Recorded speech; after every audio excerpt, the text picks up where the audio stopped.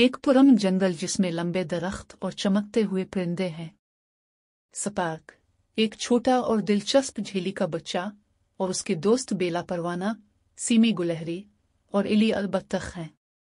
स्पाक और उसके दोस्तों की आम दिन की तारुफ जंगल में खेलने और खोज करने के दौरान। जंगल में दिन का वक्त। जंगल के जानवर दूर से धुआँ के एक दौरानिया पर हैं और परेशान हो जाते हैं। सपाक जानवरों के दरमियान नज़दीक धुआँ के बारे में परेशान बातों को सुनता है। सपाक डर गया है और समझ नहीं पा रहा कि क्या करना है। जंगल में शाम का वक्त। स्पार्क अपनी छोटी साइज़ पर गौर करता है, मगर वो अपने दोस्तों और जंगल की मदद करने के लिए अजमी है। बेला। समी और इली स्पार्क को उसकी खसूसी सलाहियतों का इस्तेमाल करने के लिए भरपूर करते हैं।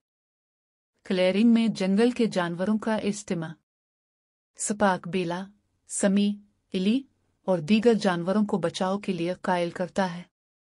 कुछ जानवर सपाक के साइज़ के बना उसकी सलाहियत पर शक करते हैं। सपाक के दोस्तों ने इसकी बहादुरी की तस्दीक की है, जिससे दीगर लोगों ने इस पर एतमाद करने के लिए रजामंद किया।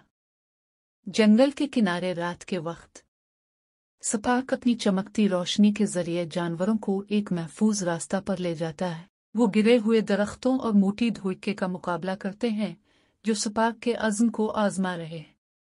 स्पार्क की रोशनी उन्हें धुआँ के करीब से महफूज से दूर ले जाती है।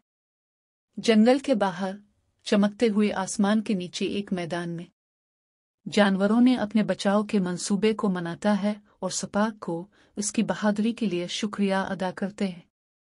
सपाक एतमाद हासिल करता है और ये सीखता है कि छोटे जानवर भी बड़े फ़र्क पैदा कर सकते हैं। जंगल को बेहतर होने लगता है और सब जानवर स्पाक की बहादुरी को याद रखते हैं।